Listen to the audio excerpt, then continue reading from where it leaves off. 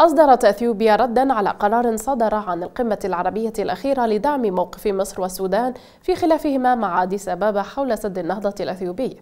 وتقول أديس أبابا أن سد النهضة وهو مشروع يهدف إلى توليد الطاقة الكهرومائية وتبلغ تكلفته أربعة مليارات دولار. يشكل أهمية بالغة لدعم تنميتها الاقتصادية. لكن مصر والسودان تعتبرانه تهديدا خطيرا لإمدادات المياه الحيوية لهما.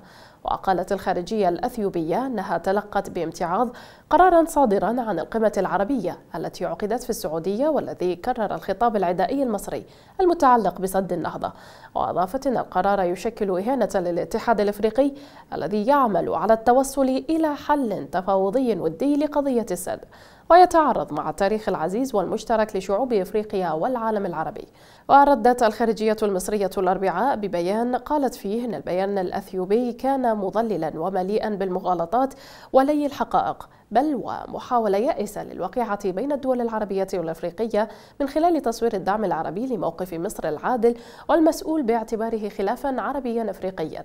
ونفى البيان المصري صحة ما جاء في البيان الأثيوبي عن أن خبراء الدول الثلاث اتفقوا على تفاصيل ملء السد وكذلك القواعد الإرشادية والقواعد الخاصة بالملء الأول للسد وتشغيله. وقال أنها ادعاءات غير حقيقية.